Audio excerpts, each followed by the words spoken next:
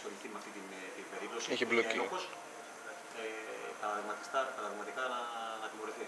Όσο πιο σκληρά γίνεται. Νιώθεις ότι σε έχουν κλέψει μετά από όσα έχουν βγει στην επιφάνεια; Εντάξει, ε, δεν είναι κάτι που- το οποίο το, το νιώθω τώρα.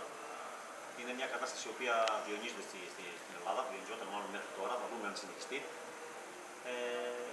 Ε, σίγουρα έχω σκεφτεί ότι πολλά πράγματα στα φέρνει μέσα από τα χέρια και αποδείχτηκε τώρα. Και μάλιστα στο παρελθόν είχαμε χαρακτηριστική για γραφική, αν βγαίναμε να πούμε κάτι, και εγώ είμαστε και για γραφική. Αλλά εντάξει, πήρε το πλήρωμα του χρόνου. Ε, και τουλάχιστον να σε αποδοθεί δικαιοσύνη.